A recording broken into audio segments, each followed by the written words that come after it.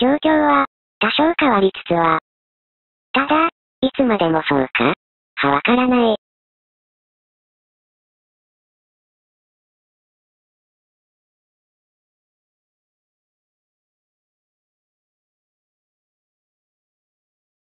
ポジションの、多少の変化はある。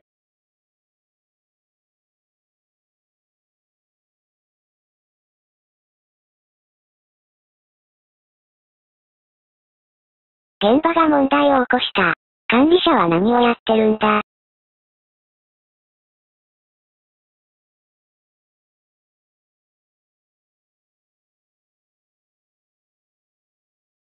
その、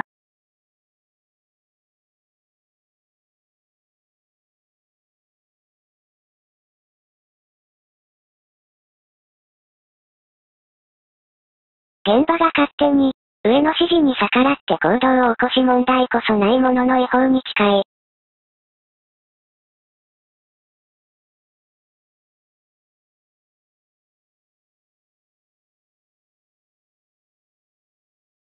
資格のない奴になんでそんな重要なことを任せるんだ。管理者が、なぜ直接、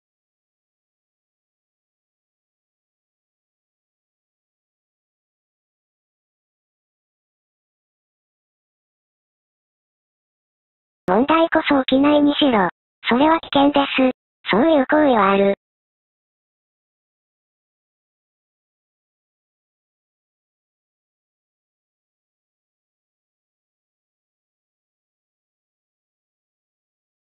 抑止してもある。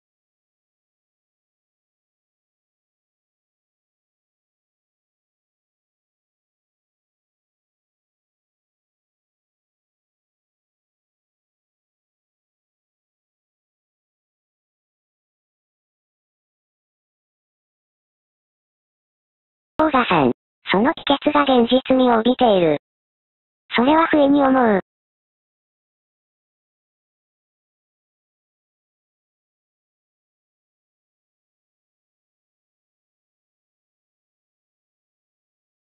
王座さんの決定には逆らわない方が、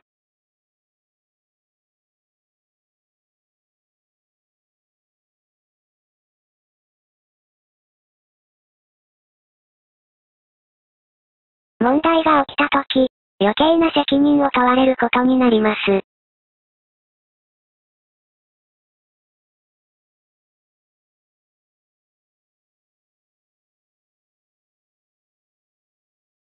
アメリカの銃乱射事件はなぜ起きたか？不意に、